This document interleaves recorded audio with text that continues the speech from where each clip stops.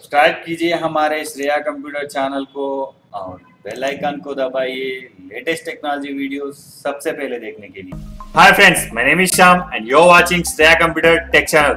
Friends, today is a good news for HTC device users. The brand new Android Oreo was released yesterday, 28th of January 2018. Basically, this ROM was designed by Lineage, which is version 15.1. Friends, if you're still wondering whether your device will receive Android Oreo updates, the full list of official Android Oreo supported device which I given below description. You may find it. The Android Oreo was released officially by Google for Pixel and Nexus phones. Now you can enjoy the Android Oreo true experience on HTC phones. Actually, the ROM brings cool new features from Android Oreo which includes picture and picture mode, new Android, O emoji styles, notification UI, settings, overall changes, advanced Doze mode, autofill passwords and this Lineage OS also has some of the unique cool features which allow you to easily root and customize your phone. Friends, here boot your phone into TWRP recovery mode by pressing volume up and down and power button simultaneously. When it was booted into TWRP, here we need to take a backup before wiping our data. Simple here, click on backup. In this criteria, select boot, recovery, system, data and modem. After selecting these, simply swipe right to take a backup. It will take approximately 2 to 3 minutes, but it's very safest to rewind our stock ROM. Once the process was finished, we need to go to back home screen. Press on back. Here we need to wipe a temporary data cache before installing the stock ROM. Click on wipe. Select here advanced wipe. In this criteria, select Not Cache, System, Data and Cache. And simple here, swipe right to wipe data. After the data wiped, here we go to install stock ROM. Press on back button. When it is appears home screen, click on install. Select the Oreo ROM which I provide you in below description. The official G apps and the latest ROM. You may download it. After selecting this ROM, simply swipe right to install.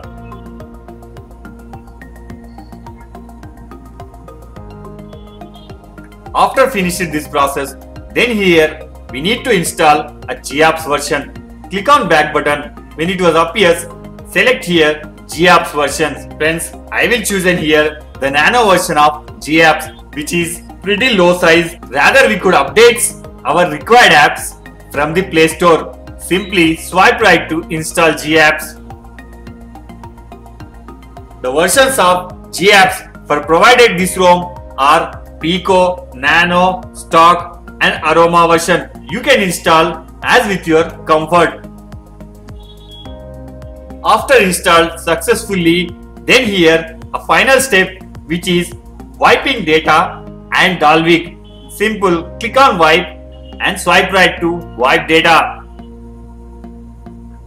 After finished with the all process, then we need to here simple press on reboot system. It will take a 3 to 4 minutes to reboot your system completely. Friends, I will meet you after my setup was completed successfully.